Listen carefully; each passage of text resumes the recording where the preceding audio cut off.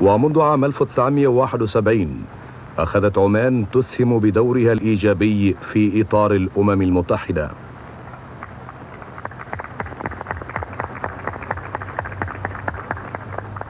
I declare Oman admitted to membership in the United Nations. وتلتزم عمان بميثاق الأمم المتحدة وتحترمه